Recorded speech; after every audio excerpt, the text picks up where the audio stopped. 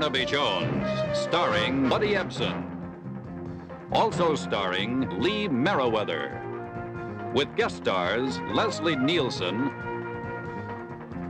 Marj Dusay. Tonight's episode, The Killing Defense.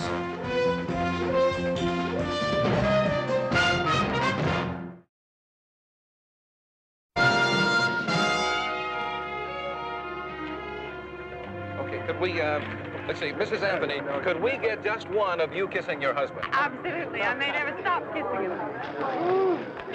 How did it feel being a free man? Oh, great. Never felt better. M- Mr. Anthony, uh, can I ask you, since the jury has found you innocent, did you care to take a guess just who did steal the Markova jewels? Oh, no. Uh, I'm just grateful the jury exercised their best judgment. Of course, I owe a lot to my counsel, Mr. Brendan here. Counselor, did you have any doubt about the outcome? Now, my client had an airtight alibi. No other verdict that the jury could have reached.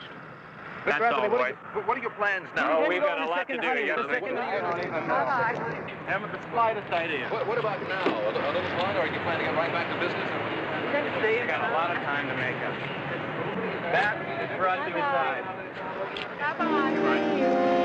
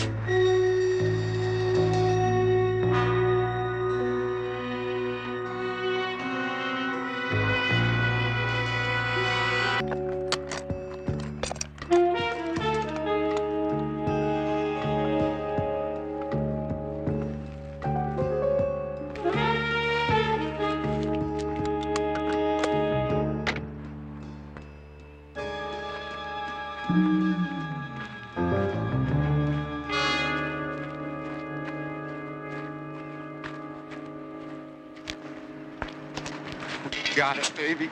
We're home free with a million dollars worth of stones. Get in the car, Gail.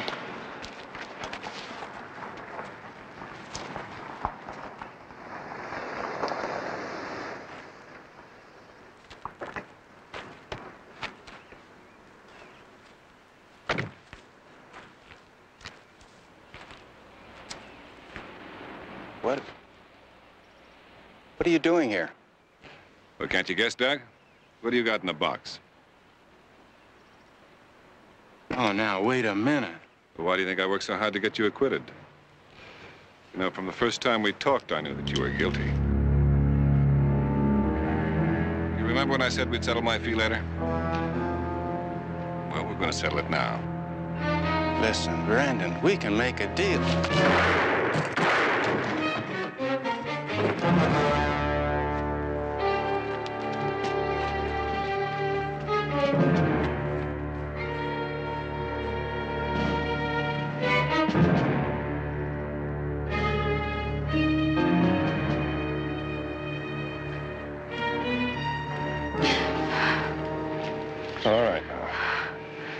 That's it. The worst is over. What are you going to do with him? I'll take him back in the woods and bury him. Now, you go on back to town. No need for you to stay around here. Bill Everett of the insurance company uh, told me about your loss and asked me to see if I could help you since he couldn't. Yes. One of my attempts at thrift was to let the insurance on the jewel collection lapse. I'm afraid it was a very foolish economy. I understand you just took the jewels out of your safe deposit box because you were going to sell them. Oh, thank you. Yes, uh, an appraiser had made an appointment to examine them. The day he was to come, I, I had a visitor, the son of a dear friend. That's Douglas Anthony, the young man that uh, they found innocent today. Yes, he said he was in desperate need of money and had some scheme to use my name and photograph for a promotion that would make him wealthy. I turned him down, of course. And then the appraiser phoned, saying that he would not be able to come until the next day. I spoke to him about the jewels. Douglas was sitting there where you are now, Mr. Jones, taking in every word I said. Then he knew that the jewelry was going to be in your apartment overnight. It was Douglas. There's not the slightest doubt in my mind. Seems to me the young man's pretty lucky to have been acquitted when you're so positive. Oh, luck had nothing to do with it. Douglas claimed he was in Palm Springs at the same time that I saw him here in my apartment. Douglas and his lawyer presented witnesses, and I could see that the jury thought I was just a, a senile old woman.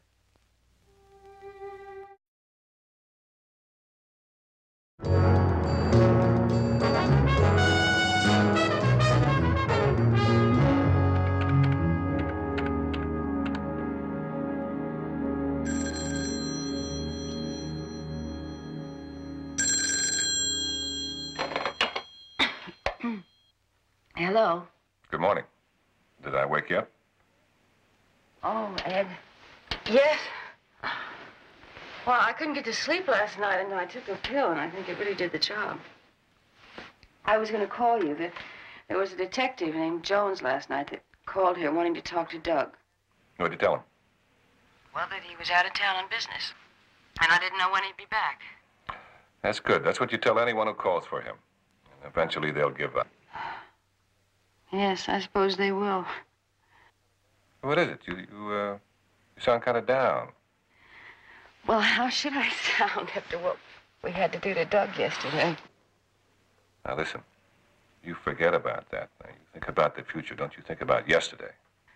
Oh, sure. Except I'm not looking forward to the next few weeks. I wish we didn't have to wait. I wish we could be for Europe right. Everything has gone according to plan. Now let's not spoil it by getting over anxious. We'll just wait a month and we'll leave separately. I'll go to Amsterdam and I'll I'll sell the jewels there. You go to Spain. Then we'll meet at the Costa del Sol somewhere and have a long, lazy vacation. Yeah. You're right. Okay, okay. Hold it a minute, will you? I'm sorry, Mr. Brennan, but there's a Mr. Jones waiting to see you. He says he's investigating the Markova jewel theft. All right, send him in, but tell him I can only spare a minute or two. Look, Gail, look, I'll call you back later, all right? I love you.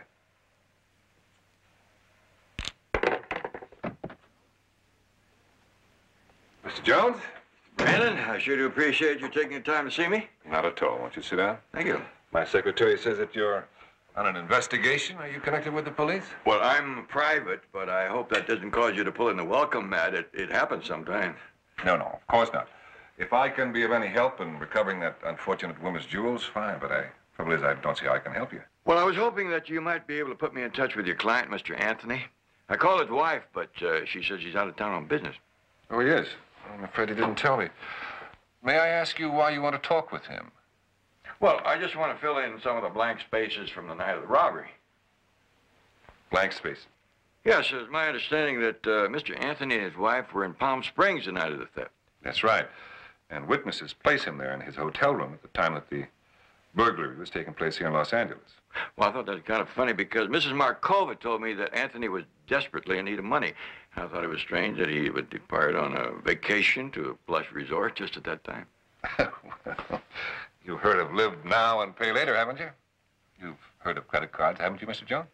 I sure have, and you've heard of uh, setting up a perfect alibi, haven't you, Mr. Brandon? You are aware, Mr. Jones, that my client was found innocent of the burglary charge. I'd hate to think that you were harassing him. I wouldn't harass anyone for the whole world, Mr. Brandon. I'm just interested in getting Mrs. Markova her jewels back. Well, I'm sure you will. You seem like a very persistent man. Now, if uh, you'll excuse me. Oh, sure. Yeah, I guess persistent is the right word. I have a system that I use in cases like these. It seems to work pretty well. What's that? I just keep shaking all the trees till something falls out. Good day, Mr. Brandon.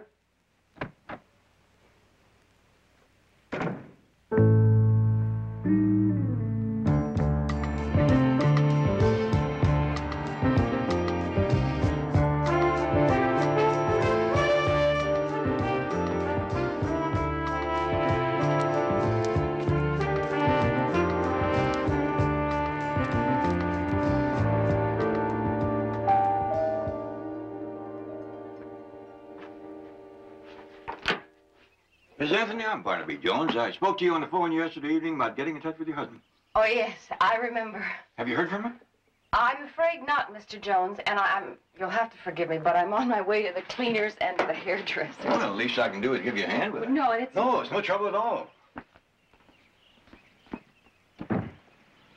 My car's right over here. Oh, your husband has his own car. No, we just have the one. He must have gone on a short trip if you didn't take the car. He flew, Mr. Jones. You know, on an airplane. I drove him to the airport myself yesterday. Oh, what airline? You happen to remember? It was KBL, I believe. Now may I have my cleaning? Standing here visiting with you, I forgot it was yours. I'll put it in the car. Thank you. You know, there's one thing I think I'd put on my list of things to do today. Uh, go to a car wash. I will. It's like red clay. Only a couple of spots out of town where you can find it around here. Really, I'm sorry. I haven't the faintest idea what you're talking about. Looks like the same kind of clay you got on your sweater here. Maybe I got it from the car. Now, really, Mr. Jones, you're making me late.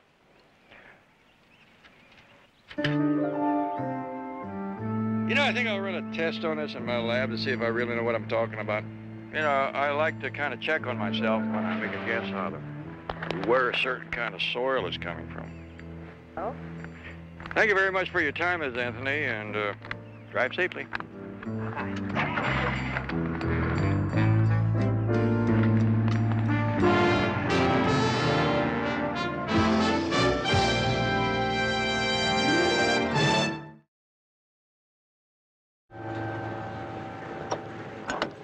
Hello, Gail. Hi. Something wrong? Well, the detective came by this morning. Who, Barnaby Jones? He's still looking for Doug. Yeah. By the office early this morning, too. He gets around pretty good, that fellow. Ed, he took a sample of mud from the car. A sample of what?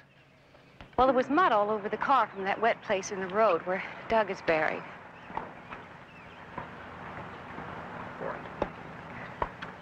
Why didn't you get the car washed? I was on my way when he showed up. What does he want the sample for? Well, he said he was going to run a test in his lab. He thinks there's, it's a kind of clay you can only find in one or two places around here. Well, seems I've underestimated Mr. Jones. Ed, I think you should do something if he finds out where the mud is from and goes to the police. Don't worry about it. I'll handle it. Just get the car washed. Doesn't know anything. He's just fishing, that's all. I hope you're right. Probably at home right now taking his uh, afternoon nap.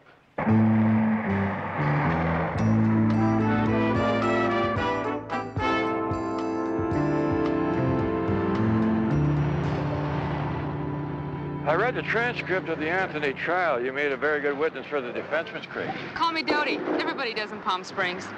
I just told the jury what I saw that night. I understand you were serving drinks in the bar the night the Anthonys were in here. Yes, I distinctly remember them because they were having a fight. Oh, a real fight with uh, name calling and screaming? Well, maybe not that bad. I mean, they weren't loud enough to get thrown out or anything. I understand you saw Mrs. Anthony leave later that night. Yeah, about three hours later. I was knocking off to go home, and she came storming out of the hotel. She got in her car and she drove away. Boy, was she ever in a huff. What time was that? Let me see. Um, I was off about nine that night. A few minutes later, I guess. Thank you very much, Dodie. Is that it? Unless you can uh, tell me where I might find Chris, the bellboy. Yeah, he's usually over there through that door. Yeah. Mr. Anthony phoned room service a little past midnight. I'll tell you why I remember, because I thought we were going to have to send out for the particular brand of scotch that he wanted, but as it turned out, we had a spare bottle of it in the bar. What kind of scotch was it? Glen Murray. So you took it up to his room, then what? Well, I knocked, but then I noticed that he left the door open for me, so I went in the room. Wasn't he there? Oh, sure. He just got out of the shower. I saw him standing in the bathroom. He had his robe on. Thanks a lot. Oh, you're welcome. Anytime, Mr. Jones.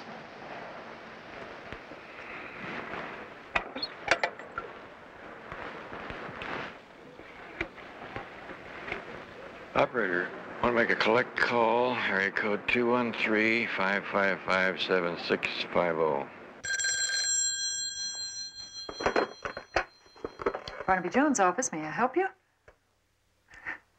Uh, yes, operator. I'll accept the charges. Oh, Barnaby. Yeah, I just got back from the airport. KBL Airline has no record of having sold Doug Anthony a ticket anywhere. And neither do any of the other airlines. Well, now, isn't that interesting? Have you had any luck down there? No, it's kind of dead down here. If Doug did steal those jewels, he had arranged to be two places at the same time, looks like. I might as well come on back to L.A. No use hanging around here.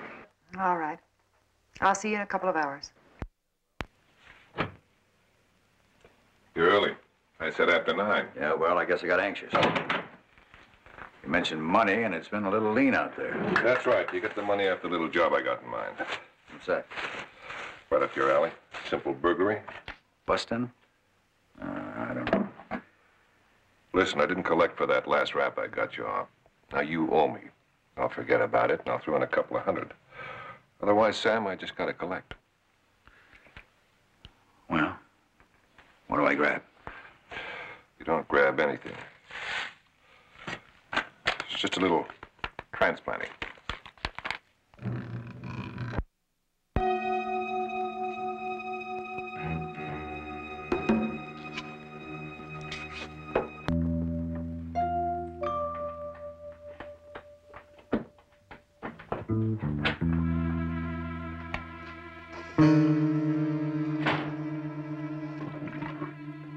Barnaby?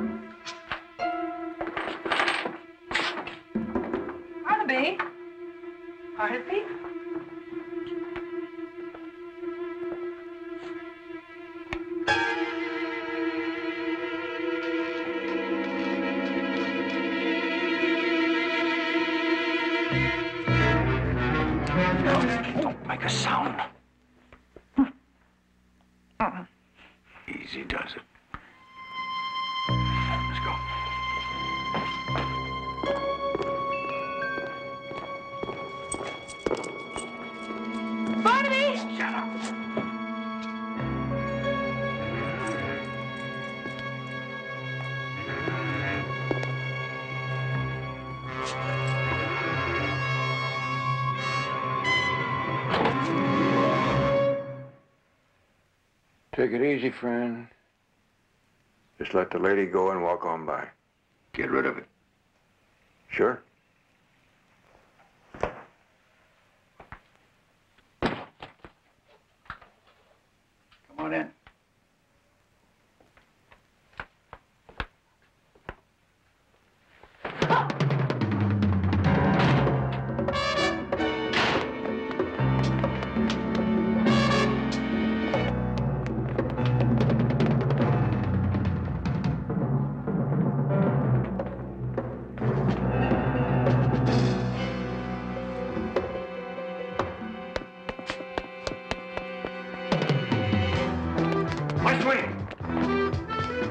Yes, please.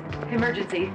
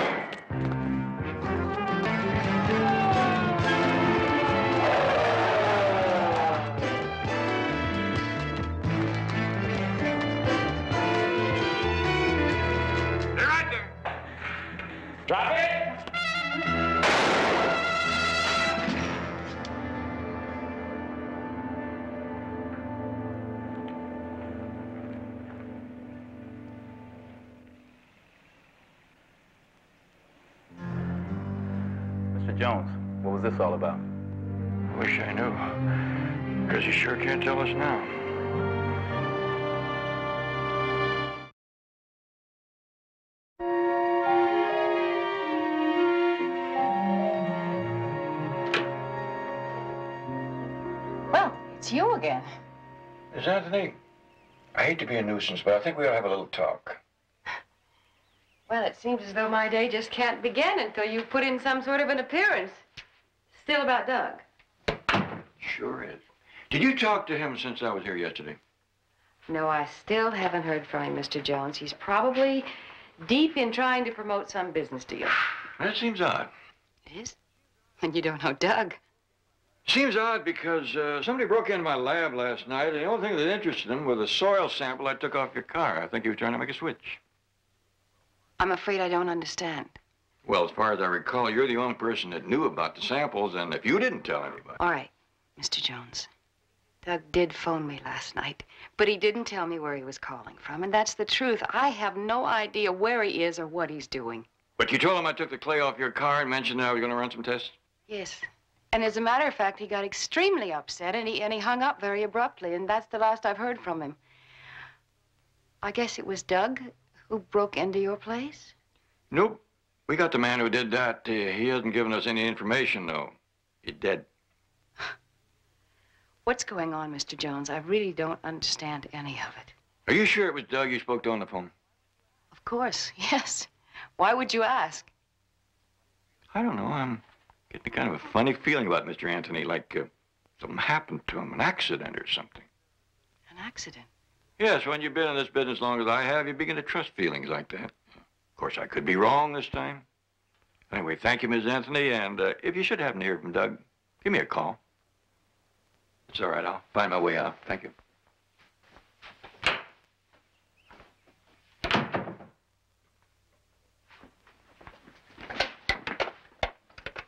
And in view of the court's current position in, uh, in this regard, You want me to get there? no, it's a private line. Hello? Now, hold it a minute, will you? Why don't you start transcribing that now and I'll finish it later.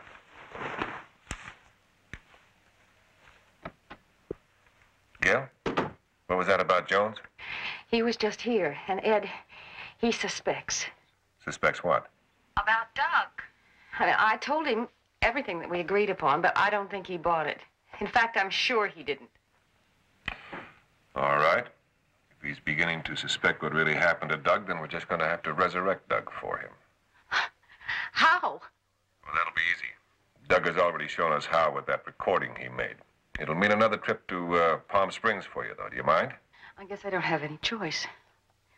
I just wish I were meeting you somewhere instead. Yeah, well, it won't be long, Gail. You have found out nothing about who he was. No, no, I haven't heard anything. Here's Perhaps Markova. Bobby- Oh, oh, your daughter-in-law was just telling me what happened last night. Have the police identified him yet? Yeah, Sam Mason, long record, burglary, assault, you name it. Well, how does he die in? I don't know, but I've been making some inquiries. Who his cellmates were, who his old partners were, who his uh, defense attorney was. I want you to follow up on that, Betty, when we get back to the office. There is still no trace of what happened to my jewels. No, ma'am, but I think that when we locate Doug Anthony, we'll have come a long way toward getting your jewels back. Then you do believe it was Douglas who took them? That I was not imagining what I saw? That's right. It's what other people imagined they saw that interests me. For example, how Doug could be in two places at the same time. That took some acting. You've known Doug all his life, haven't you? Since he was a few years old. Did he ever have any theatrical experience? Uh, you mean on the stage? Yeah. Oh, no, not that I am aware. Where did he go to school? It was in the East, uh, one of the Ivy League colleges. A men's college. I seem to remember it was. But what could that possibly have to do with this?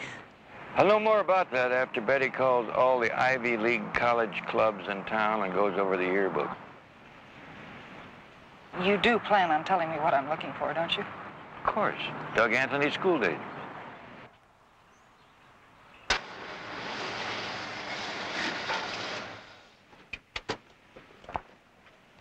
There's some bags in the back. Would you get them for me? I'd be glad to. Thank you.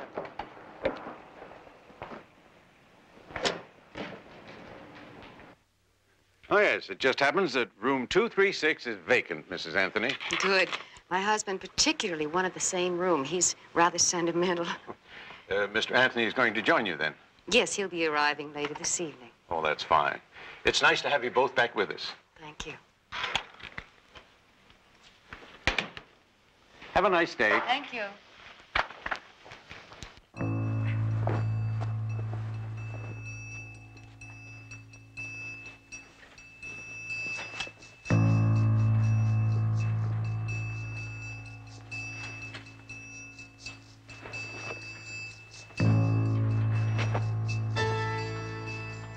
Mm-hmm.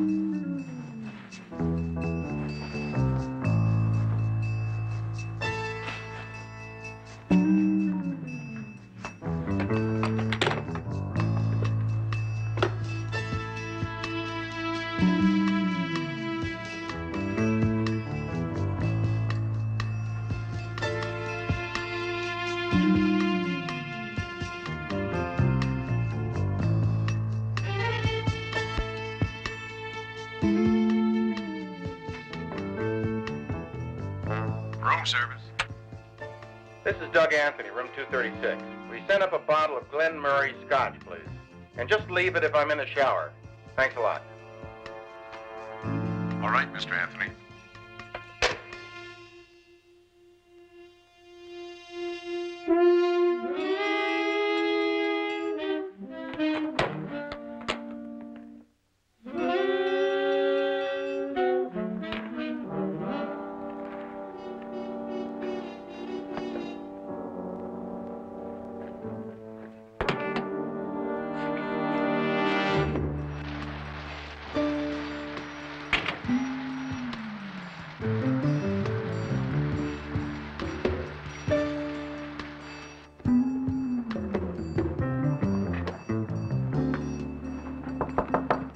Mr. Anthony, room service.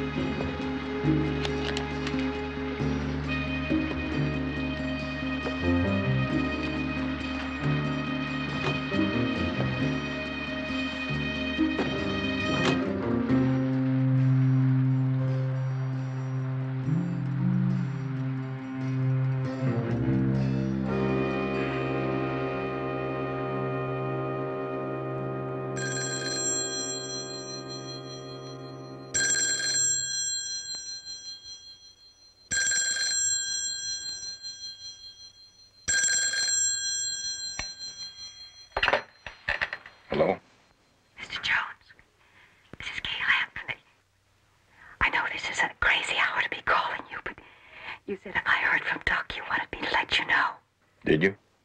Yes, and I'm with him now. We're in that hotel in Palm Springs. Palm Springs. Why didn't you call me earlier? Oh, I couldn't get away from him until now. He's acting very strange, and, and he's drinking a lot.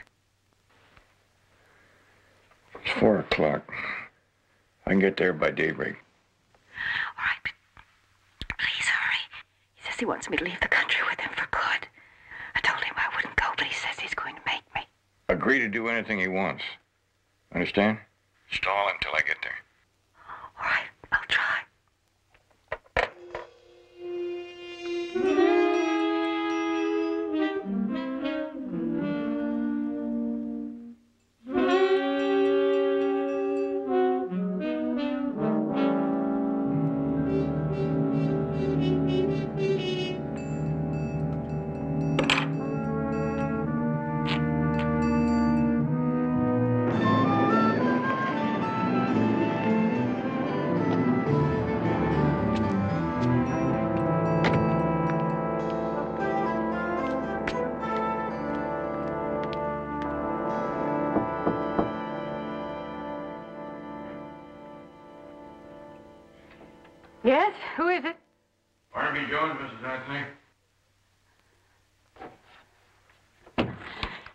Mr. Jones, come in.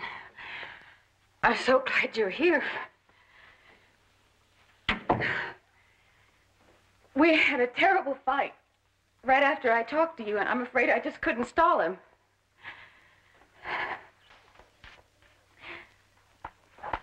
He do that?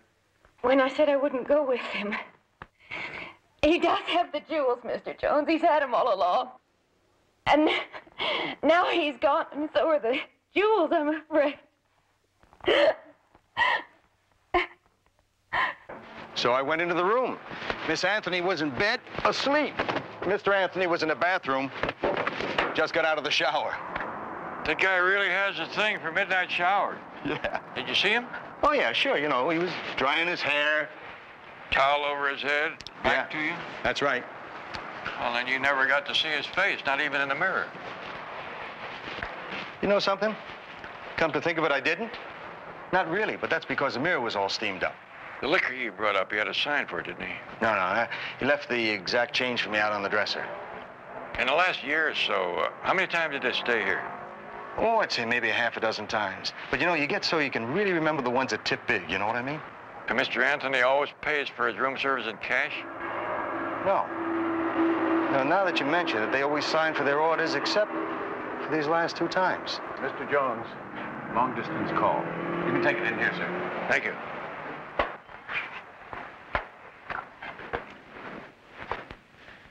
The blue phone on the desk. Thank you.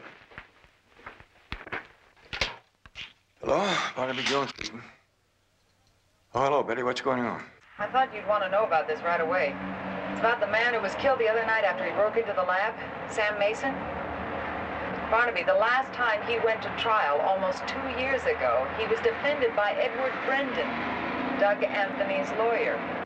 Mr. Brandon. Well, now. Doesn't that take the long arm of coincidence and wrench it right out of the socket?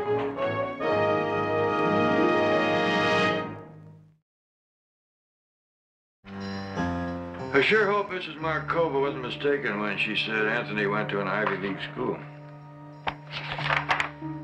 She wasn't. Here he is, right here in the yearbook. Douglas Anthony, class of 57.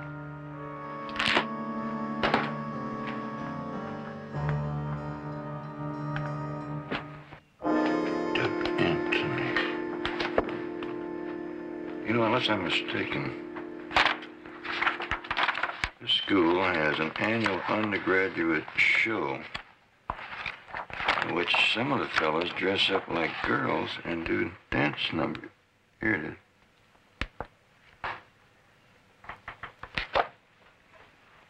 What about this guy? Could be. Douglas Anthony. That's how he did it.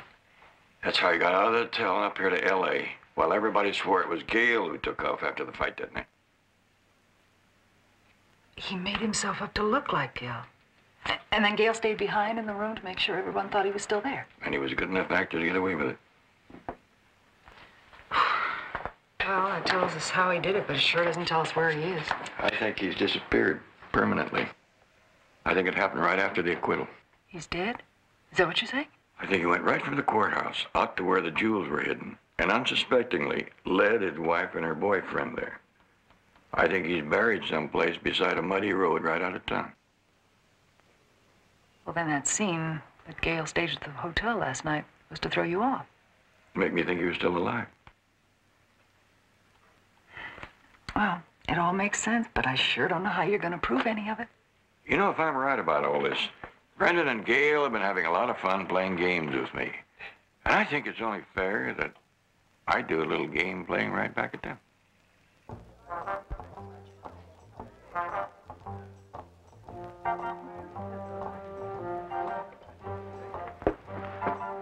Anthony.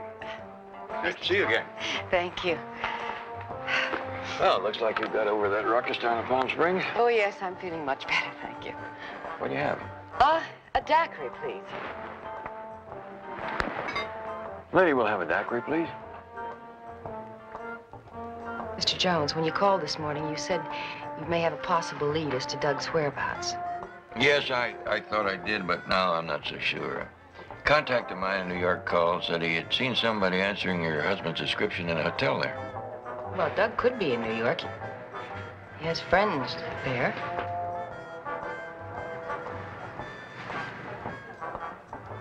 What's the matter, Miss Anthony? Ah, Say, isn't that your husband's lawyer down there? yes, I believe that's Mr. Brandon. It's like he's thinking of giving up bachelor life. Bachelor life? Yes, I've seen him in here with the same girl every day for the past week now. Oh, thank you.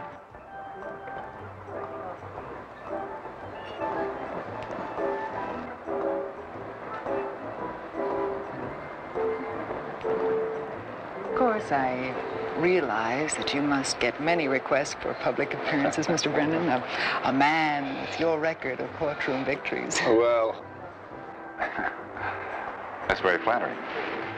But really, a public appearance at this time would uh, be out of the question for a while. Well, at least I tried.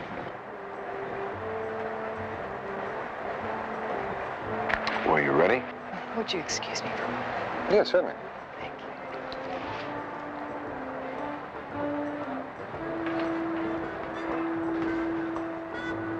Say, she is attractive, isn't she? Yes.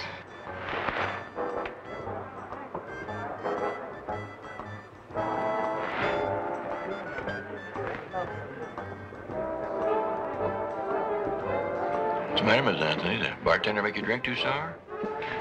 Excuse me, Mr. Jones.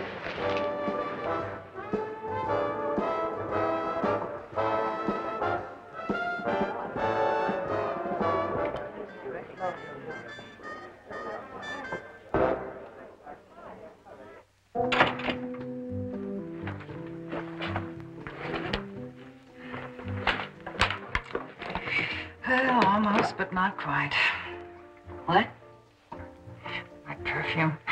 Was rather hoping it would last until Paris, but now I don't think so. You're going to Paris? Yes. My boyfriend has to go there on business, and he's asked me to come along. That's the man that you're sitting with? Oh, yes, did you see him? Isn't he handsome? I'm gonna try and get him to propose to me. Well, Who knows? Paris is the city of lovers.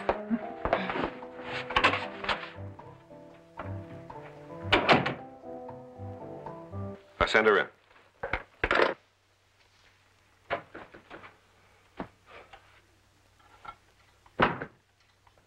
This better be important. You're coming here like this. I just thought that you should be the first to know that our plans have changed. What? What are you talking about? I mean that you and I are on a transatlantic flight tonight. Together. Are you crazy, Gail? No. What's gotten into you?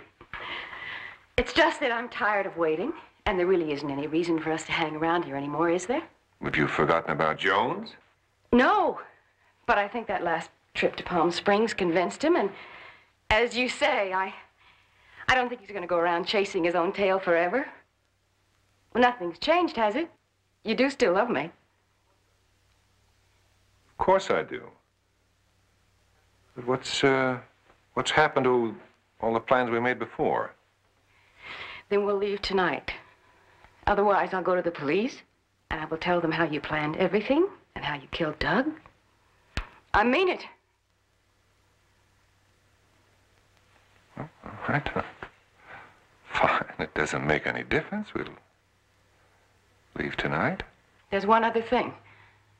I want the jewels now. Well, I don't have the jewels here in the office. They're in the safety deposit box in the bank. Then let's go get them. Oh, that would be fine, the two of us going in together.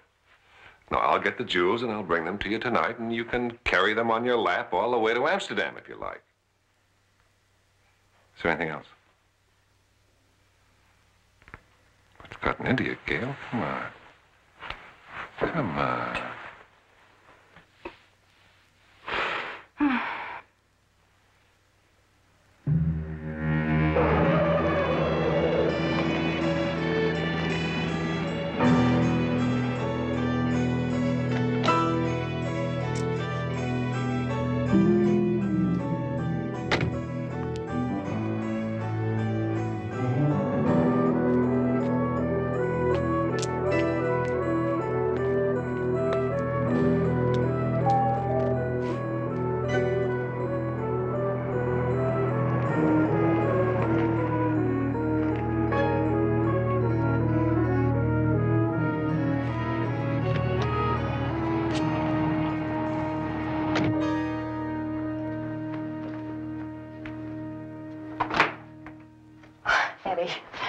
So glad you're here. Oh.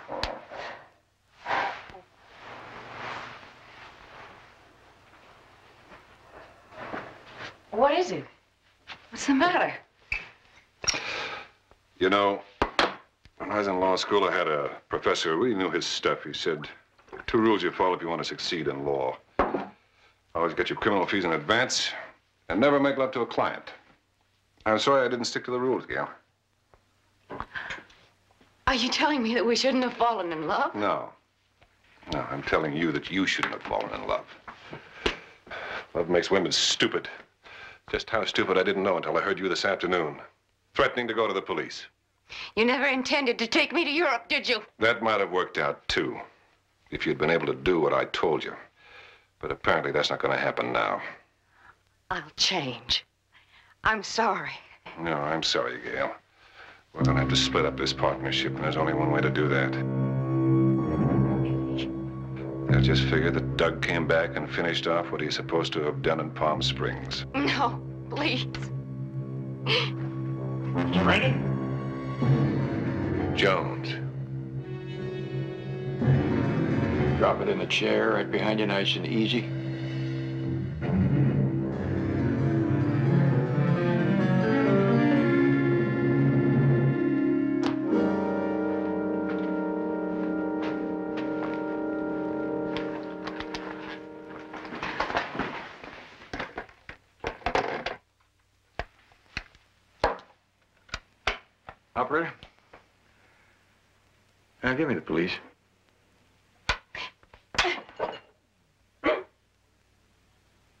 Officer, uh, I need assistance.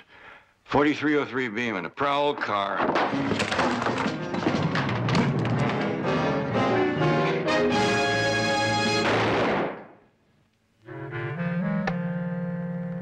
Officer, you still there? Make that one prowl car and one ambulance.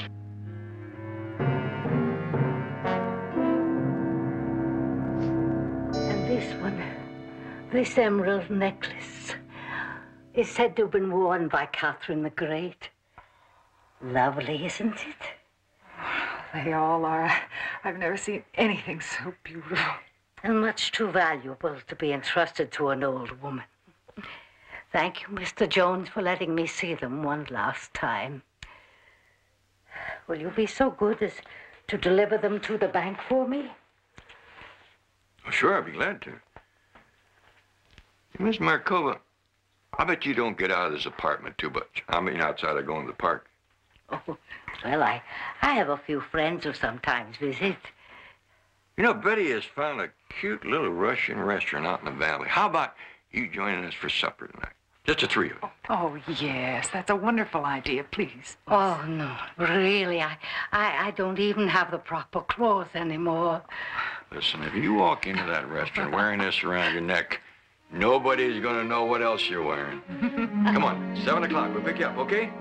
Okay.